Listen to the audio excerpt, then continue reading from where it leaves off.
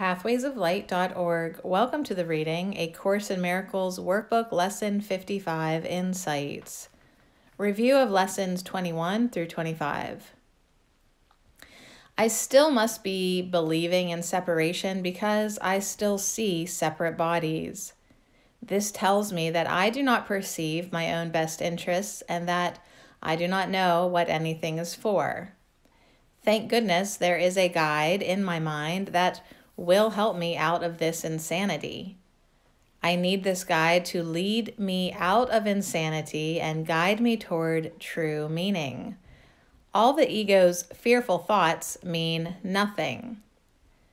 There is only one way to return home, and that is to be willing to let go of thinking in terms of individuality. I do this with the Holy Spirit. The Holy Spirit shows me that the dream is over. All are healed in the eternal now. Love's presence is all there is to see and feel and know in the eternal now. As I am willing to see things differently, I will see things differently. This is true about myself and everyone.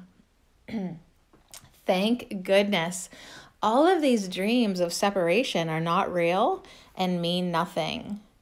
No one has really left the mind of God, and everyone is safe at home in heaven now. As I am led to remember this, the peace of God gently surrounds me and enfolds me in its loving embrace. All is very well. Nothing real can be threatened, nothing unreal exists. Herein lies the peace of God. One of the main themes in this review is that everything I think I see is a projection of my own thoughts. And everything I see is a picture of individuality that opposes the thoughts of God. So my thoughts must be attack thoughts. The world I see could not have been created by a loving God for his beloved Son.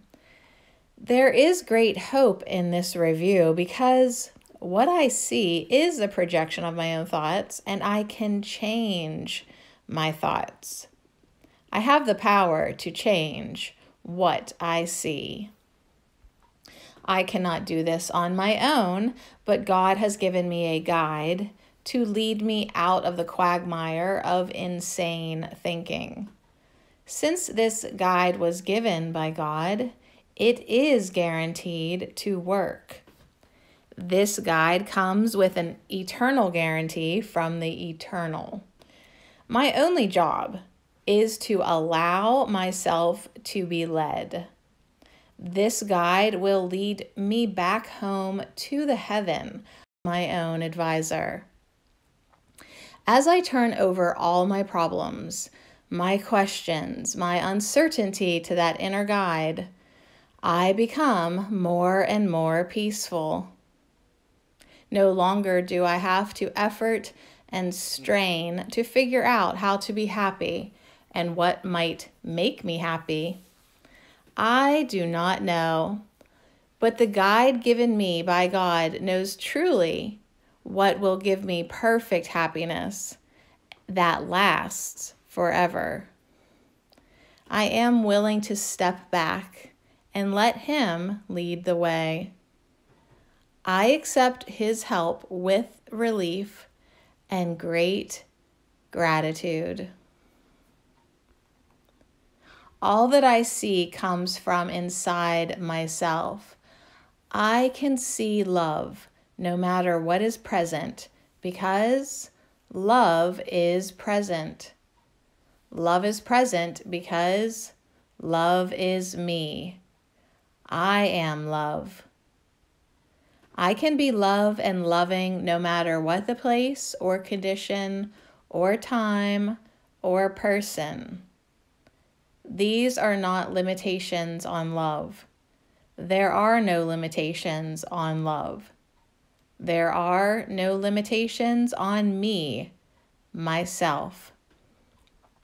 The ego sees limitations everywhere The ego feeds on boundaries and crossed boundaries, these artificial lines drawn in the sand that make up our human lives and relationships. They shift with the winds like desert dunes, once here, then there. What do they mean but shifting demarcations, almost indistinguishable from one another except for their impermanence, their ceaseless change? What then is my life, the one I desire to see, the one of ceaseless joy? This is the life I choose to realize. I do not know how to manifest this life, for this is not of ego. I give to Holy Spirit the burden of sorting out the false from the true in my life. This burdens me, for I don't know my best interest and would worry what it is. This is no burden for Holy Spirit. This is Holy Spirit's joy. I rest in the peace that Holy Spirit has everything in order, sees that the divine plan is at work in my life. I trust in this. I would follow where this leads. I am thankful that I feel peaceful and joyful in this moment. Today, I follow peace and joy. Today, I follow what I am to where I ought to go. pathwaysoflight.org